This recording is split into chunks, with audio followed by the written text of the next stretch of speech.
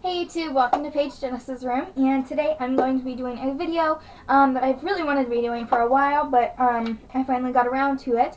Um, and this is going to be a, I can't really call it anything, but it, I'm kind of going to be explaining what you can do in storage space for back to school clothes. So different things that you can do when you get when you're about to go back to school, but you don't want to put them in your closet yet, or if your parents want you to keep them nice and not wear them until school, things like that. So that was my quick 30 second intro, and let's get started. So I actually have a huge box that looks like this, and it goes all the way down, and it's this huge thing. I can't see the camera. This huge looking box. Oh, I can't even hold it up. And it is jumbo, and um, pretty much, I'll show you guys.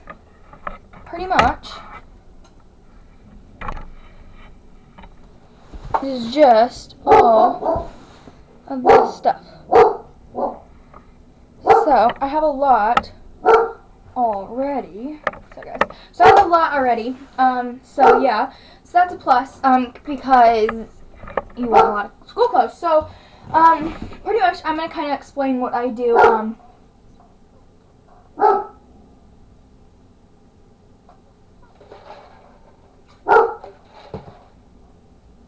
Okay, so pretty much I'm going to explain what I do um, when um, I like I'm getting ready to go back to school. Bart Marley, I am trying to film a video.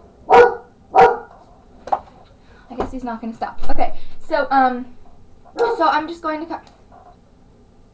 I'm gonna have to pause this. He doesn't stop.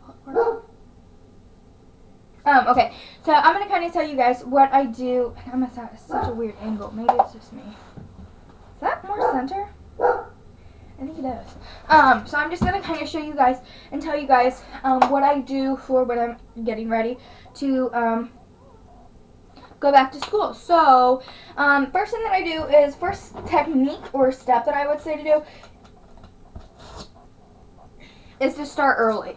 So, if your school, my school starts around the 20th, I think it's August 20, August something, I know.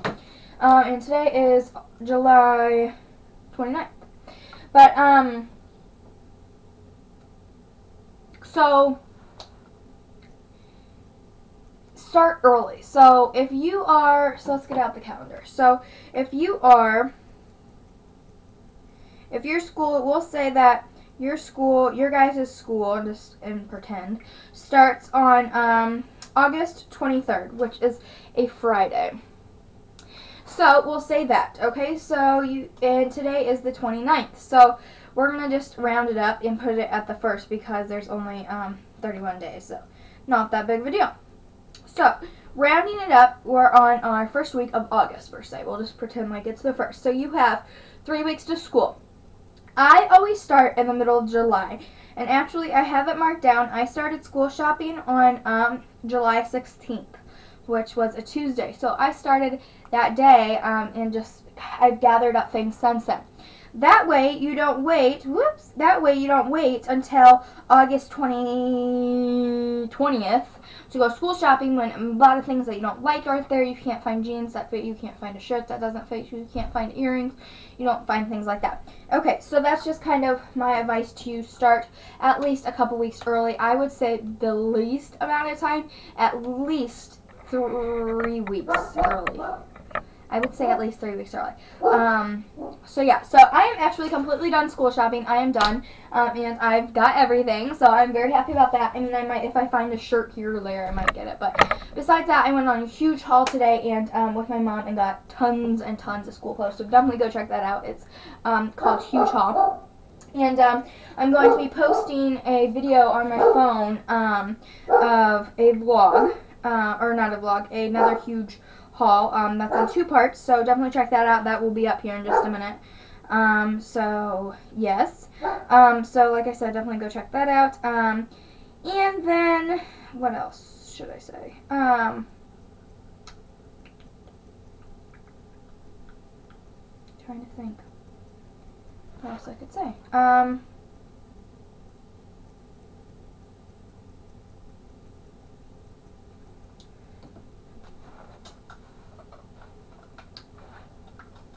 Oh, okay. Step two. I had to remember. Step two. depending on what size of clothes you are, round. So that's kind of meaning it's kind of like in if you're an extra small, we'll say that you're petite, extra extra small, you know, extra small, small.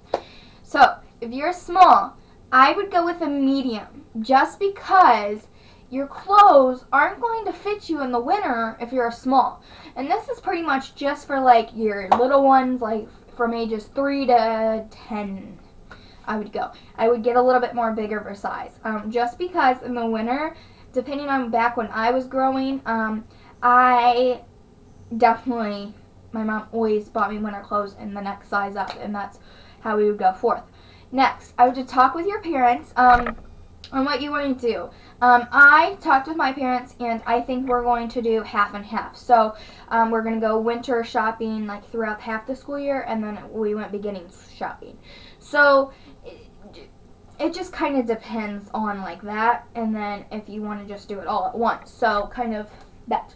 Okay, fourth thing I think I'm on is storage. Depending on where you want to do it, like I said, if your parents um want you to keep your clothes for just school and wait, or if your parents want you just, you can wear them, you can do whatever you want with them, just keep them nice for school, great. Um, more power to you. But I personally am extremely scared that I'm going to get stains or something on them. However, everyone makes a mistake, so, you know, whatever happens, happens. But um, it, it just kind of depends on your parents and you. Not to mention your age, because if you can't fend for yourself, obviously you need to listen to your parents. But if you're more of a teenager, like me, I mean, even if you are a teenager, your parents still need to do ground rules with you. I'm kind of getting off topic now. Okay, but pretty much my um, kind of main point of this is figure out what they want to do. If you want to wait till school or if they're fine and you can try them on. If the case is waiting until school like me, I put them in the box like you just seen. What I did is just close the box up um, and then just leave it like that. You could also put two um, bags or as many bags as you want over top of the clothes so that they don't get dust in them. I am also doing that. So that's pretty much it. So then there's the kinds of shopping that you need to do, um, you know, clothes, and if you want to do shoes, if you want to do accessories, things like that. I have all those done, and um, so yeah, so that's kind of my advice, my advice to you. there was a window. My advice to you, um, I'm keeping it all in a um, box simply because I have no closet right now. Um, I will be getting that this weekend. Woo! I'm so excited. I get paid on Friday, so I will be getting paint and doing all that stuff. And I'm so uber goober excited because I'm just excited. I don't know why I'm so excited. I'm just excited to get my closet back because I haven't had one since